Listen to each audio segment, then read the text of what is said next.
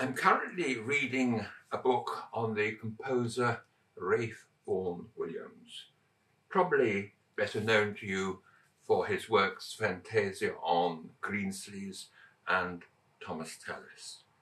He lived in Dorking for something like 20 years. He founded the Leith Hill Music Festival that still runs today. Now, I was born in Dorking. In fact, as a child, I lived just around the corner from Nutcombe Lane, where he lived. In fact, as a boy soprano, I sang under his direction in a choir uh, during the regular performances of the Bach St. Matthew Passion. Now, why am I telling you this? Well, of course, Dorking is part of an area of outstanding natural beauty, the Surrey Hills. And just in case you don't know where it is, it's about what, 20, 25 miles south, southwest of London. And for us in Surrey, it is an oasis.